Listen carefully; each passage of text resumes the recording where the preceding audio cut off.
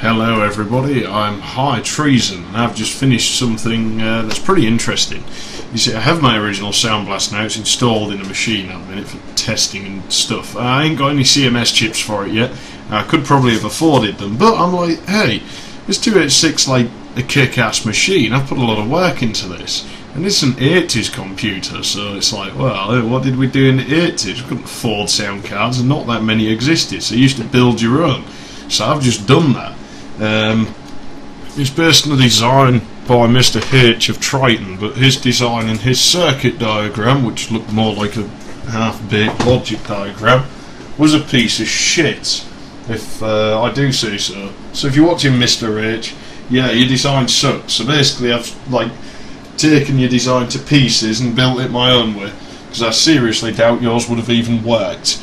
Um, you know, I'm very doubtful that you even built one.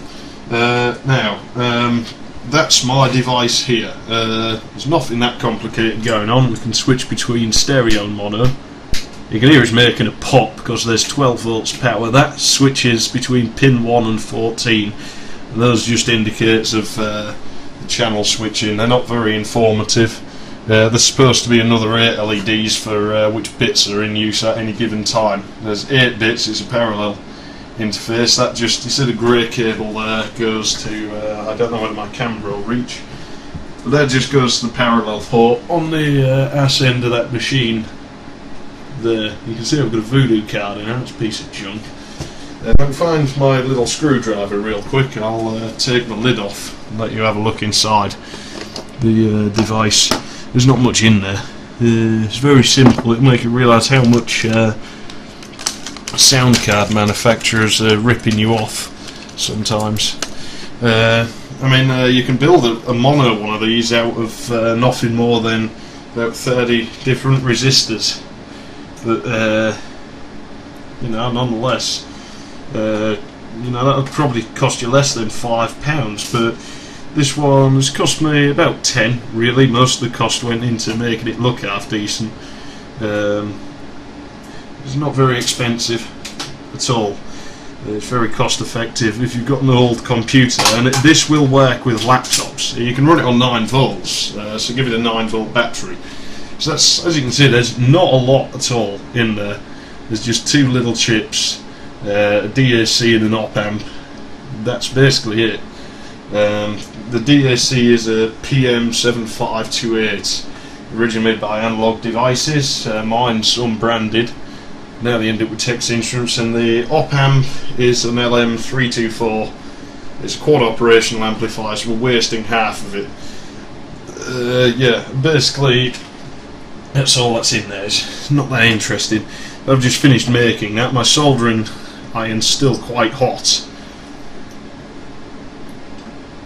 I mean, you can hear the off of that, but uh, yeah, I went over and burnt my hair on it before, so my kitchen now smells pretty bad. Uh, while I bolt that one, I'll start the computer up.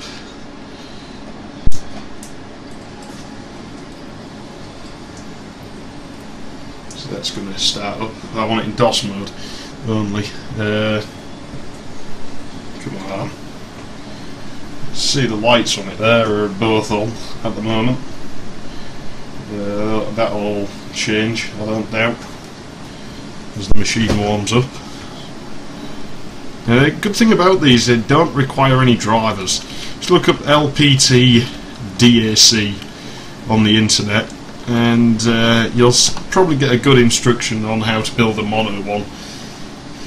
Uh, it's not really that complicated at all, so you know, I'm just making this video right now. I'm not going to edit or anything. This is just because I'm quite pleased with what I've I've done here. Very minimal amount. Have I put that lid back on the wrong? I have, haven't I? I tell you what, I'll leave the lid off for tonight. So I would like to eat some supper and get myself to sleep. So basically, I'll just leave that alone for now. Anyone in the arm there, is it? Right now let's uh, meddle around with this thing. So, uh, um, uh, should I switch to that screen? Probably. Um, now I'll tell you, there's something wrong with the stereo on here at the moment.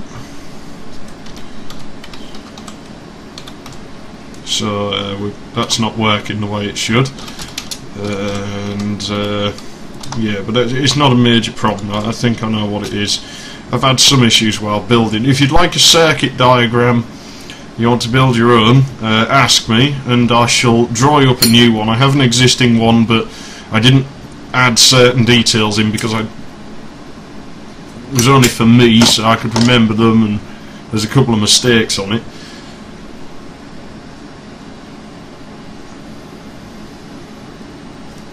Let's give this thing a go. So as you can see we're uh, set up for sound player uh, no sampling device. Uh, whatever that's not important really. But that's interesting we can do that even though it's only 8 bits and stereo is ticked. We've uh, maxed out the sampling frequency I'm not sure we should do that. So we may as well open something. Uh, let's try uh, what should we play with? I've kind of got this stuck in my head at the moment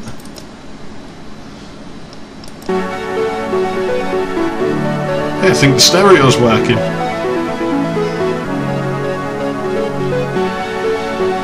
So it's not perfect, but I may have... No, it's, uh, it's back.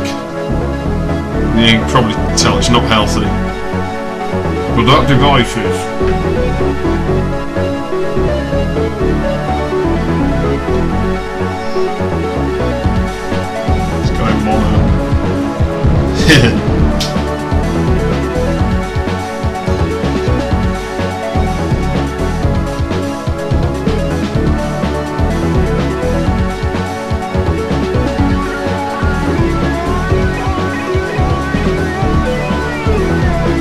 a bit more complicated.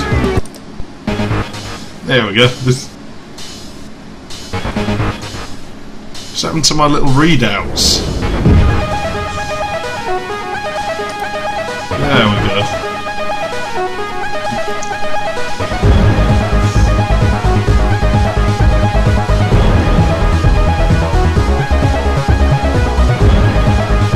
Now you wouldn't get these results out of a really old computer because it's quite demanding to do this on a parallel port.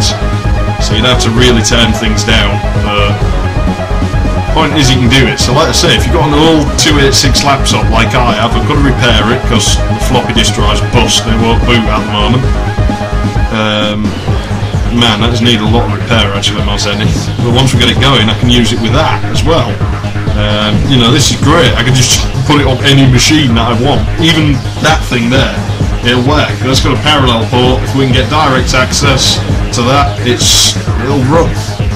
It'll run on Linux. It'll run on anything. No drivers required, really.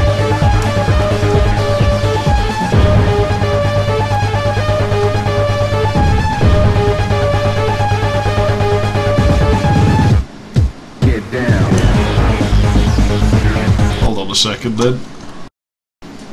Yeah. Well, I suppose I'll uh, play you like uh, one more tune on this thing just to assert its kick-assness while I point out some mildly interesting things. Um, oh, now let's me have a look at this. Go for that one. This mouse keeps packing up.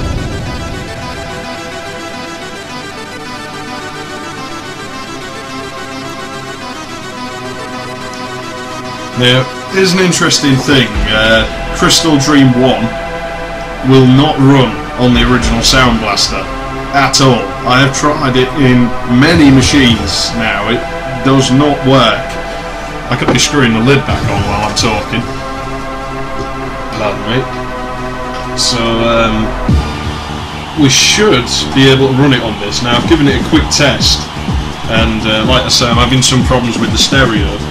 But that's another thing I want to bring up, is Triton's coding for the audio. It leaves a lot to be desired. And to be honest, their mod files do as well, because half of its chords are off key. Um, you know, I'll be honest, I've always thought Crystal Dream was overrated, but I did a recording of the first one. I want to do a recording of the second one now.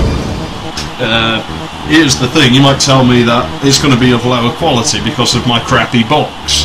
Well, the point is, that's all you can really run the demo on in the real world, unless you're very lucky. I got it to run on a machine with an R32 plug and play once, by chance. It never done it again, and it never done it before.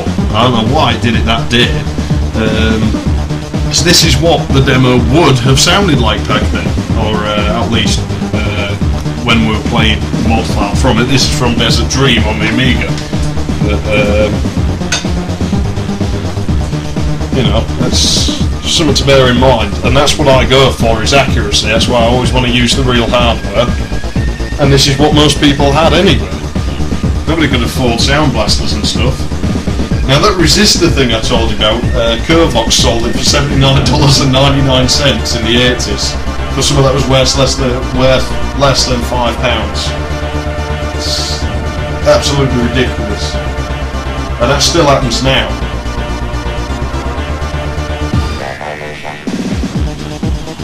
You know M Audio's uh, cards use the Via Envy24 chip with a sticker on it saying M Audio? You can buy an Envy24 for about five pounds now. They're, they're worthless. M Audio will charge you 80 for it.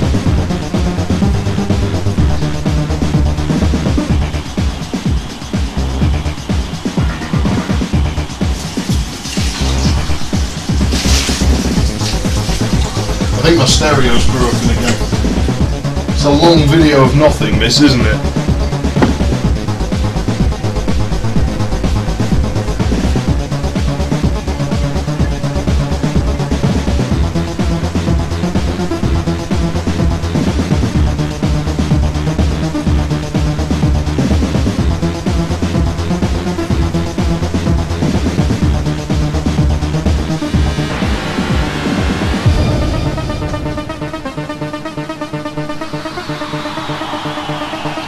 Okay, I'll uh, I'll play one more file because I can't be bothered to play stop yet, and I'll just fade out at a random point.